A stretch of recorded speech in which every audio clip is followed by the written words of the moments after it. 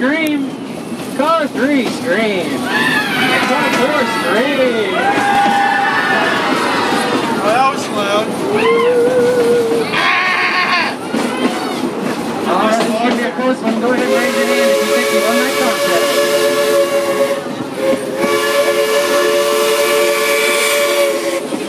Yeah, I think car four won that one. We should do right here.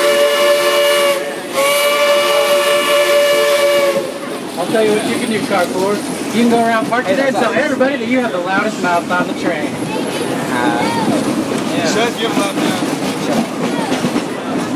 Well, over here on the right, we're coming up on Silver Lake. That's right, home to some of the best fishing in all the Ozarks. This last week, this little boy threw in a stick of dynamite and caught him a five ounce goldfish.